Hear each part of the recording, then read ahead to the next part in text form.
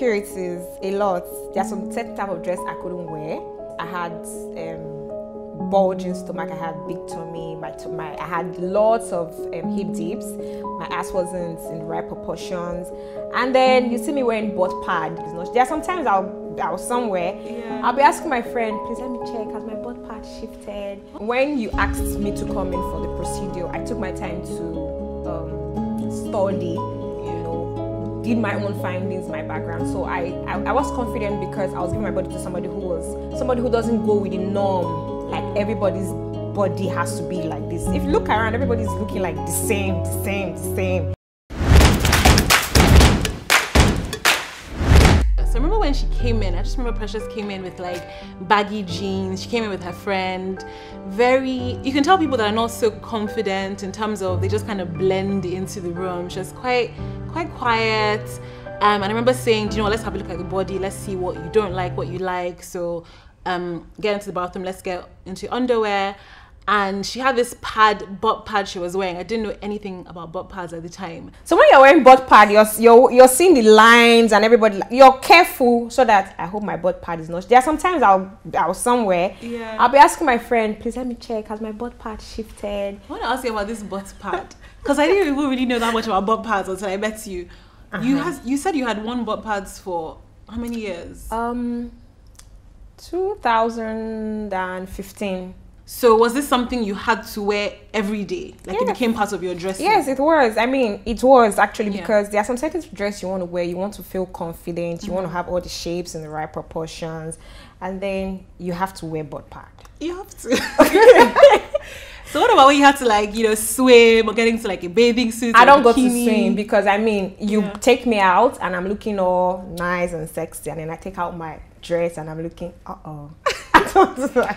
and this insecurity you had was mm-hmm. it something that you know was personal to you, or were other people, the other people used to comment on your body, or was it just something you knew that you didn't well, like about your body? I would I wouldn't say other people comment because they they get to see me wearing butt pad so except you're really, really, there was a time a friend of mine had to spark me on my ass and she heard boom and she was like, what was that? I felt really bad. Yeah. You know, you're not secured. So most people out there don't know this is what I have been wearing over time. Mm. So I won't mm. say it's because of them. So it was mm-hmm. actually my insecurity. insecurity. Yeah. Yeah.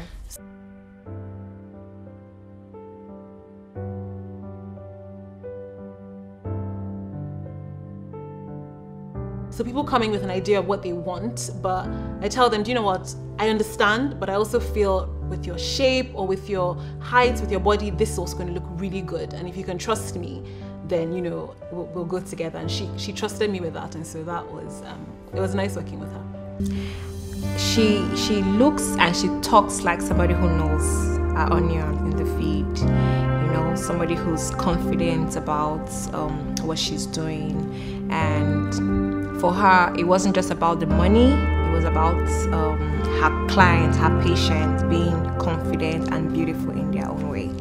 I'm fine. I'm doing well.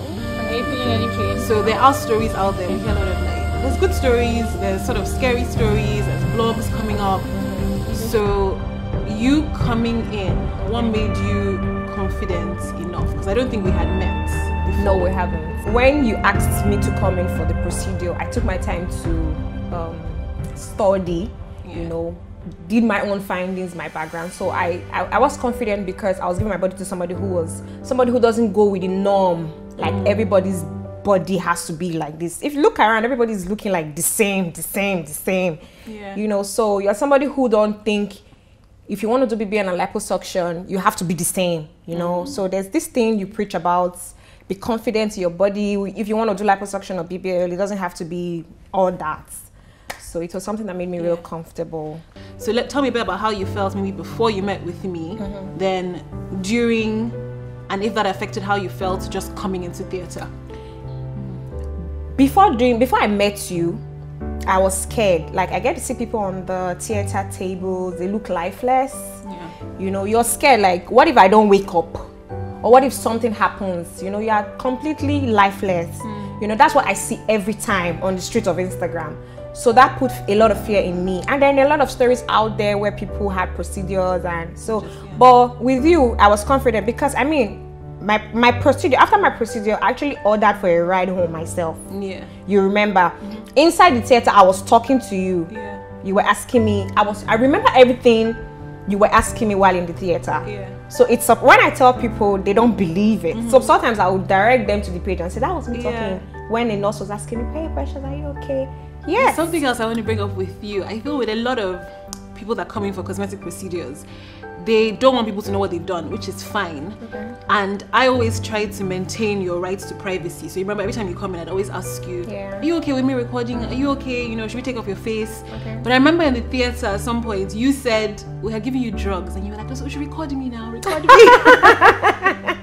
And even when you post like your page, so people, a lot of people come out and be like, "We love her confidence," Yeah. and that's something I really love about you in terms of even afterwards carrying your body and just being so confident. So tell us a bit about your experiences with like your newly enhanced body and your life now, and how your sort of your confidence is coming through. I'm more confident now because hell, you asked me to take off my dress. Sometimes when I come to your clinic, people say, "Can I see with oh, with?" Do you understand? Like I'm so happy to show you. Do you understand? A lot has changed. A whole lot. When people go, I I try to comment on the page for them to know that this is me. Yeah. It's there's whole. I mean, I had to go for shopping now. Like I had to start buying new set of dresses. I noticed. Yes. Yeah. I start buying new set of dresses because it's on another level entirely. There's this thing, there's this confidence it gives to you. Mm-hmm. You know, especially the fact that I don't look like the regular Mm. BBL out there. Yeah. You, it looks so natural. natural. that people Yeah. are, people begin to ask you, "Did you do your body?"